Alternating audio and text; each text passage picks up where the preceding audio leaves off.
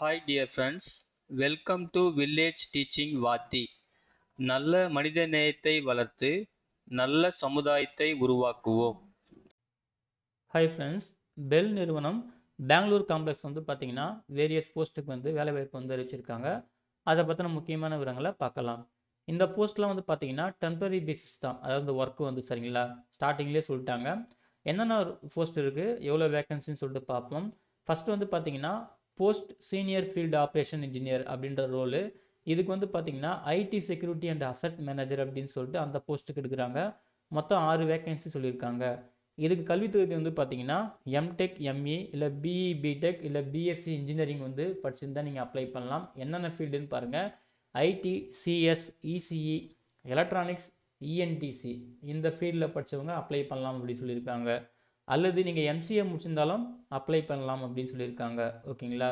இதுக்கு வந்து பார்த்தீங்கன்னா மினிமம் எயிட் இயர்ஸாவது எக்ஸ்பீரியன்ஸ் தேவைப்படும் அப்படின்னு சொல்லியிருக்காங்க. இந்த சிக்ஸ் போஸ்ட் சொல்லியிருக்காங்க இல்லையா? இந்த ஆறு வேகன்சி வந்து பார்த்தீங்கன்னா யூஆருக்கு மூணு ஓபிசிக்கு ரெண்டு எஸ்சிக்கு ஒன்றுன்னு சொல்லிட்டு கம்யூனிட்டி வைஸாகவும் சொல்லியிருக்காங்க சரிங்களா? அப்பர் ஏஜ் லிமிட் வந்து நாற்பத்தஞ்சு வயசு. அதுக்கப்புறம் செகண்ட் ரோல் வந்து பார்த்தீங்கன்னா ஃபோஸ்ட் ஃபீல்டு ஆப்ரேஷன் இன்ஜினியர் அப்படின்னு சொல்லிட்டு இதுக்கு டிசி சப்போர்ட்ன்ற போஸ்ட்டுக்கு வந்து எடுக்கிறாங்க. மொத்தம் நாலு வேக்கன்சி இதுக்கு பிஇ பிடெக் பிஎஸ்சி இன்ஜினியரிங் வந்து முடிச்சவங்க அப்ளை பண்ணலாம் அப்படின்னு சொல்லியிருக்காங்க.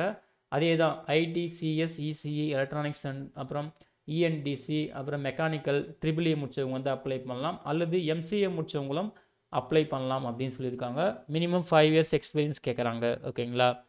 அதுக்கப்புறம் வந்து பார்த்தீங்கன்னா ஐடி சப்போர்ட் ஸ்டாஃப் அப்படின்ற போஸ்ட்டுக்கு இதுக்கு வந்து மொத்தம் முப்பத்தி ஏழு vacancy BE BTech BSc engineering முடித்தவங்க அதாவது IT CSEC electronics ENTC mech triple E இவங்க முடிச்சவங்க மட்டும் அப்ளை பண்ணணும். இதுக்கு வந்து பார்த்தீங்கன்னா மினிமம் ஃபைவ் இயர்ஸ் ரெண்டு போஸ்ட்டுக்குமே மினிமம் ஃபைவ் இயர்ஸ் எக்ஸ்பீரியன்ஸ் கேட்குறாங்க அப்புறம் கம்யூனிட்டி வைஸாகவும் சொல்லியிருக்காங்க. மொத்தம் இங்கே வந்து பார்த்திங்கன்னா நாற்பத்தொரு வேகன்சி இருக்குது இல்லையா? யூஆருக்கு இருபது ஓபிசிக்கு பதினொன்று எஸ்சிக்கு ஏழு எஸ்டிக்கு மூணு அப்படின்னு சொல்லியிருக்காங்க. மேக்ஸிமம் ஏஜ் லிமிட் வந்து நாற்பது வயசுன்னு சொல்லியிருக்காங்க இந்த ரெண்டு போஸ்ட்டுக்கு மட்டும். டிசி சப்போர்ட் ஐடி சப்போர்ட் ஸ்டாஃபுக்கு ஓகேங்களா? அப்புறம் தேர்ட் வந்து பார்த்தீங்கன்னா போஸ்ட் ப்ராஜெக்ட் இன்ஜினியர் ஒன் அப்படின்ற ரோலுக்கு இதுக்கு கண்டென்ட் ரைட்டர் அப்படின்னு சொல்லிட்டு பிஇ பிடெக் பிஎஸ்சி இன்ஜினியரிங் முடிச்சவங்களுக்கு வந்து அப்ளை பண்ணலாம்.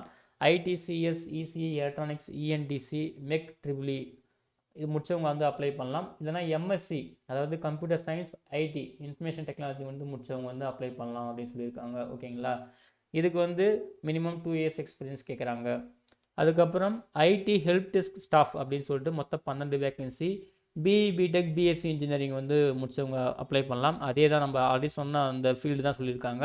இந்த ஃபீல்டை நீங்கள் வந்து முடிச்சிருக்கணும். இன்ஜினியரிங் சர்வீஸ் வந்து பார்த்தீங்கன்னா அதுக்கு அதே போல் மினிமம் டூ இயர்ஸ் எக்ஸ்பீரியன்ஸ் கேட்குறாங்க மொத்தம் பதிமூணு வேகன்சி இருக்குது இது யூஆருக்கு அஞ்சு ஓபிசிக்கு மூணு இடபிள்யூஸ்க்கு ரெண்டு எஸ்சிக்கு ரெண்டு எஸ்டிக்கு ஒன்று அப்புறம் மேக்ஸிமம் ஏஜ் லிமிட் வந்து பார்த்தீங்கன்னா முப்பத்தி ரெண்டு வயசுன்னு சொல்லியிருக்காங்க ரெண்டு போஸ்ட்டுக்குமே ஓகேங்களா அதுக்கப்புறம் போஸ்ட் ட்ரைனிங் இன்ஜினியர் ஒன் அப்படின்ற ரோல் வந்து பார்த்தீங்கன்னா டிஸ்ட்ரிக்ட் டெக்னிக்கல் சப்போர்ட் அப்படின்ற போஸ்ட்டுக்கு மொத்தம் பதினெட்டு வேகன்சி இதுக்குமே வந்து பார்த்தீங்கன்னா பிஇ பிடெக் பிஎஸ்சி இன்ஜினியரிங் வந்து முடிச்சிருந்தீங்கன்னா அவங்க ஏற்கனவே நம்ம சொல்லியிருந்தோம் இல்லையா இந்த ரெலவன் ஃபீல்டில் இதுக்குமே பார்த்தீங்கன்னா எம்சிஏ எம்எஸ்சி ஐடியில் வந்து முடிச்சிருந்தீங்கன்னா கூட நீங்கள் அப்ளை பண்ணலாம் அப்படின்னு சொல்லியிருக்காங்க.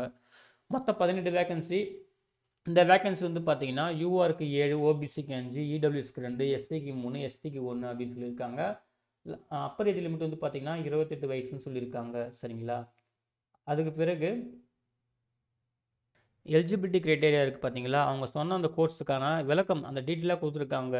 ME ME MTech BE BTech இதெல்லாம் வந்து பார்த்தீங்கன்னா இப்போ எலக்ட்ரானிக்ஸ்லாம் யார் யாரெல்லாம் அப்ளை பண்ணலாம்? எலக்ட்ரிக்கல்லாம் யார் யாரெல்லாம் அப்ளை பண்ணலாம்? கம்ப்யூட்டர் சயின்ஸ்லாம் எந்தெந்த ஃபீல்டெலாம் அப்ளை பண்ணலாம்? மெக்கானிக்கல்னால் மெக்கானிக்கல் மட்டும் தான் அப்ளை பண்ணணும் சிஎஸ்சி ஐடினா கம்ப்யூட்டர் சயின்ஸ் ஐடின்னு சொல்லிட்டு இங்கே தெளிவாக கொடுத்துருக்காங்க. இந்த டேபிள் வந்து உங்கள் ஃபீல்டு வந்து கரெக்டாக சூட் ஆகுமான்னு செக் பண்ணிக்கோங்க ஓகேங்களா அதே போல் நீங்கள் வந்து பாஸ் கிளாஸ் ஆனால் போதும் அப்படின்னு சொல்லியிருக்காங்க சரிங்களா? அதாவது ஃபஸ்ட் கிளாஸ்னு சொல்லல பாஸ் கிளாஸ் தான் சொல்லியிருக்காங்க சரிங்களா? அதையுமே பார்த்துக்குங்க. அதுக்கப்புறம் ஏஜ் ரிலாக்ஸேஷன் நம்ம ஆல்ரெடி சொல்லியாச்சு சரிங்களா? ஏஜ் அதாவது ஏஜ் லிமிட் சொல்லியாச்சு. ஏஜ் ரிலாக்ஸேஷனுமே இருக்குது அதாவது எஸ்சி எஸ்டிக்கு வந்து ஃபைவ் இயர்ஸ் ஓபிசிக்கு வந்து த்ரீ இயர்ஸ் அப்புறம் பிடபிள்யூடி கேண்டிடேட் பார்த்தீங்கன்னா டென் இயர்ஸ் அப்படின்னு சொல்லியிருக்காங்க. அதுக்கப்புறம் இது வந்து நம்ம சொல்லிட்டோம் ஸ்டார்டிங்லேயே டெம்பரரி பேசிஸ் தான். அதாவது கான்ட்ராக்ட் பேசிஸ் தான். ஃபஸ்ட்டு டூ இயர்ஸ் வந்து உங்களுக்கு ஒர்க் மாதிரி இருக்கும். அதுக்கப்புறம் தேவையை பொறுத்து ஃபர்தராக வந்து ஒரு டூ இயர்ஸ் வந்து எக்ஸ்டெண்ட் பண்ணலாம் அப்படின்னு சொல்லியிருக்காங்க. ஓகேங்களா இதையும் செக் பண்ணிக்கோங்க. அதுக்கப்புறம் பே ஸ்கேல் வந்து பார்த்தீங்கன்னா சீனியர் ஃபீல்டு ஆப்ரேஷன் இன்ஜினியர் அந்த போஸ்ட் ரோலுக்கு வந்து பாருங்கள் ஒரு மாதத்துக்கு எண்பதாயிரம் ரூபாய் இருக்கும்னு சொல்லியிருக்காங்க. அதுக்கப்புறம் ஃபீல்டு ஆப்ரேஷன் இன்ஜினியர் போஸ்ட்டுக்கு வந்து பார்த்தீங்கன்னா ஒரு மாதத்துக்கு அறுபதாயிரம். ப்ராஜெக்ட் இன்ஜினியர் ஒன்றுக்கு வந்து பார்த்தீங்கன்னா ஒரு மாதத்துக்கு நாற்பதாயிரம் ட்ரெயின் இன்ஜினியர் ஒன்று வந்து பார்த்தீங்கன்னா ஒரு மாதத்துக்கு முப்பதாயிரம் அப்படின்னு சொல்லியிருக்காங்க. அப்புறம் ஒவ்வொரு வருஷத்துக்கும் இன்க்ரிமெண்ட்டுமே சொல்லியிருக்காங்க. அதையுமே தெளிவாக செக் பண்ணிக்கங்க. அப்புறம் அலவன்சஸுமே இருக்குது அப்படின்னு சொல்லியிருக்காங்க. சரிங்களா? அதுக்கப்புறம் இந்த எக்ஸ்பீரியன்ஸ் சொல்லியிருக்காங்க இல்லையா? அந்த எக்ஸ்பீரியன்ஸ்லாம் எந்தெந்த ஃபீல்டில் வந்து உங்களுக்கு எக்ஸ்பீரியன்ஸ் இருக்கும்? உங்களுக்கு ஜாப் ரோலு ஜாப் ரெஸ்பான்சிபிலிட்டிலாம் எப்படி இருக்கும் அப்படின்னு சொல்லிட்டு ஒவ்வொரு ரோல் வைஸாகவும் இந்த டேபிளில் கிளியராக சொல்லியிருக்காங்க. அந்த டேபிள் கிளியராக செக் பண்ணிக்கோங்க. அப்புறம் செலெக்ஷன் ப்ரொசீஜர் வந்து பார்த்தீங்கன்னா ரிட்டன் டெஸ்ட் வந்து இருக்கும் அப்படின்னு சொல்லியிருக்காங்க. சரிங்களா? ரிட்டன் டெஸ்ட் வந்து பார்த்தீங்கன்னா மேக்ஸிமம் நூறு மார்க் வந்து இருக்கும். நெகட்டிவ் மார்க் இருக்குது ஒன் பை ஃபோர் நீங்கள் ராங்காக ஆன்சர் பண்ணிங்கன்னா ஒரு ஒரு கொஸ்டினுக்கு நெகட்டிவ் மார்க் இருக்குது ஒன் பை ஃபோர் மார்க் இருக்குதுன்னு சொல்லியிருக்காங்க.